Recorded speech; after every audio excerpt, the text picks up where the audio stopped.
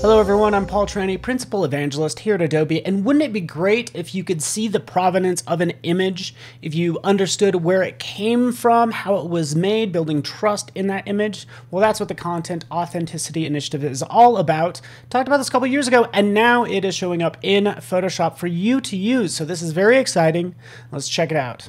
So here I am in Photoshop. Obviously, I'm going to start with this image, and the first thing you want to do is go to Preferences, down to Technology Previews, because that's what this is. Selecting Technology Previews, enable Content Credentials. So you will have to restart after selecting this, but this is going to capture all of the edits and actions you take on your content. Most of them, again, it's still in beta, so we are working on this and we're looking for uh, your help with it as well.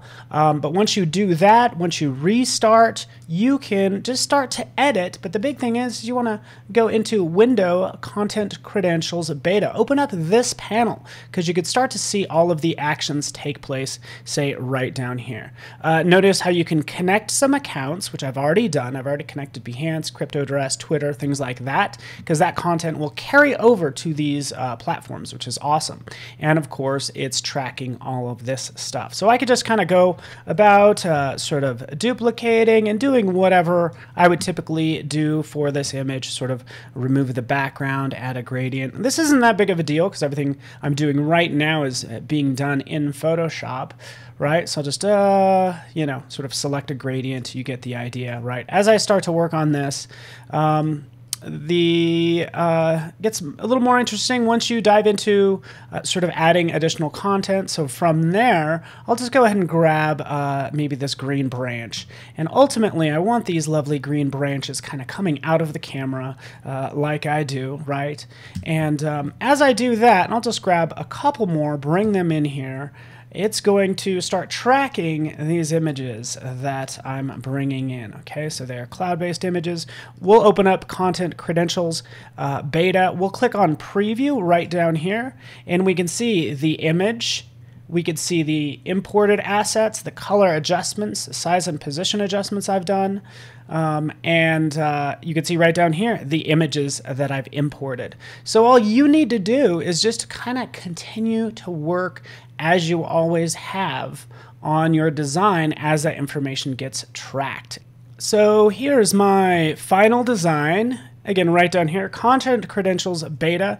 And see everything that's being tracked. We click preview, jump in here. Sure enough, uh, this is the final image, and we can start to take a look at all the combined other color adjustments and all that fun stuff, and all the various sort of images that I used uh, as part of uh, this design.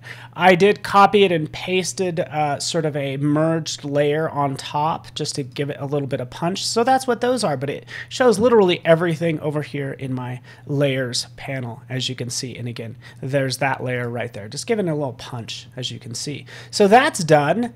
Now here's the, the fun part. Now that I have that all squared away, I want to go to export, export as, from there, we're just going to export it as a PNG or a JPEG, but right down here, we want to go ahead and uh, make sure we have this turned on and attach the content credentials to it, right? We could always preview that again. If I click right there, you see that same information. We'll export that out to our desktop. We'll just call it uh, Flower Burst, right? Save that, and that information travels with that particular image. So I'm just going to go to my desktop and actually I'm going to open up a browser and I am going to go to verify.contentauthenticity.org. Okay, so you decide what content to trust. Right in here, you could read all about it, but what we want to do is we want to click right up here, choose image, select that, and drag and drop your file. It'll analyze that file, read all of that metadata as what that is, shows me uh, when and uh, uh what was used to create it,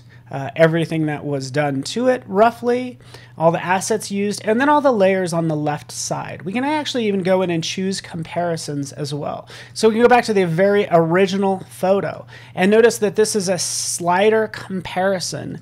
We can see uh, the original image versus all of my edits, which is pretty amazing. So that's how you can verify the content credentials. From there, you'll upload to sites that can display or take advantage of those credentials. Think Twitter, Behance, Instagram, etc. Uh, because you want to show that you're the creator of your work and all the hard work it took to make it, right? Building trust in the image. So this is very new okay, still being implemented across uh, social media. But you can find out more at contentauthenticity.org to find out more. And I hope you enjoyed this video, so be sure to subscribe for more of the latest content from Adobe, and please follow me on social media. Would love that, and I'll see you next time.